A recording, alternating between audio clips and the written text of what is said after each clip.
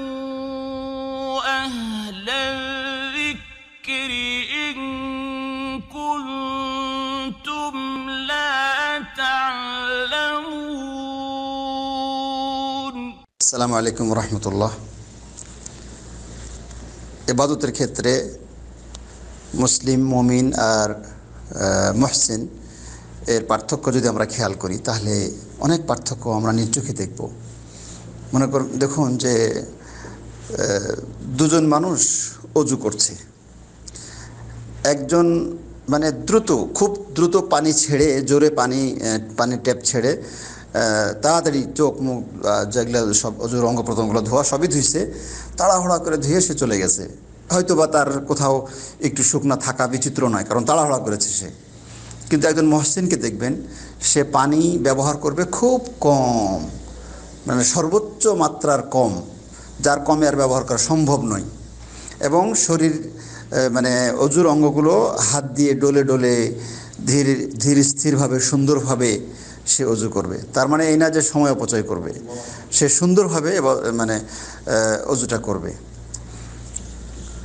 সালাতের ক্ষেত্রে দেখবেন যে একজন মুসলিম সালাত করবে, তাড়াহড়া করবে নড়াচড়া করবে বেশি, হয়তো এদিক ওদিক তাকাবে ডানে বামে বা, হয়তো শুধু মানে এইভাবে তার কোয়ালিটি কোনো মতো আর। একজন মহসিন, সে সলাত আদায় করবে অন্তরের ধীরস্থিরতা এবং শরীরের শরীরে, কি বলে যে শরীরের অঙ্গ প্রত্যঙ্গের ধীরস্থিরতা এবং রুকু, সাজদা যেখানে যতটুকু সুন্দর করা দরকার, সেইভাবে সে ধীরে স্থিরভাবে সুন্দরভাবে সালাটা আদায় করবে।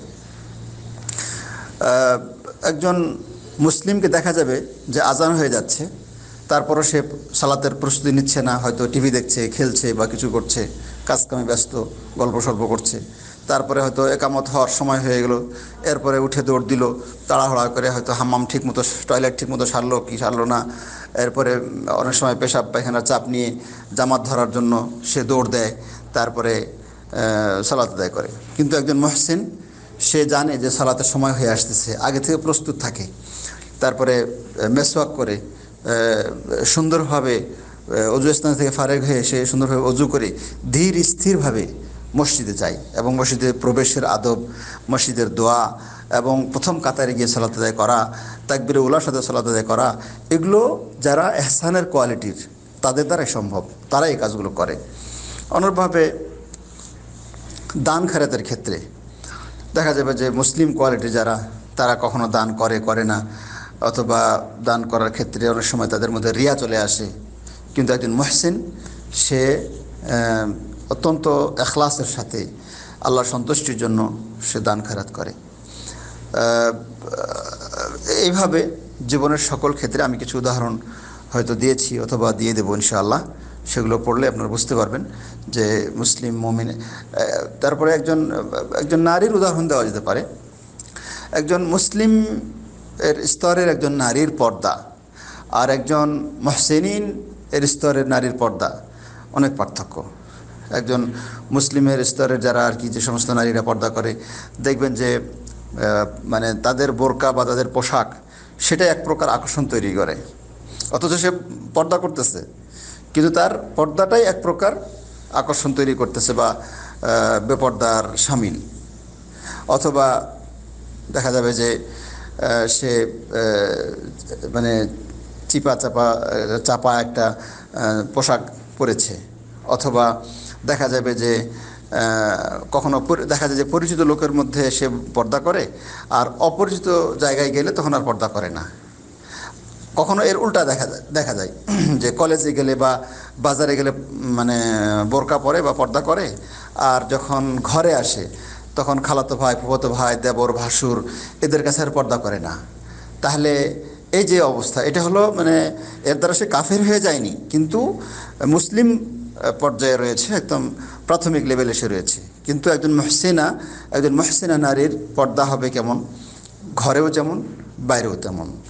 বাজারেও যেমন, স্কুল কলেজেও তেমন, বা শ্বশুরবাড়িতে যেমন, বাপের বাড়িতেও খালাতো ভাই, দুলা ভাই তেমন।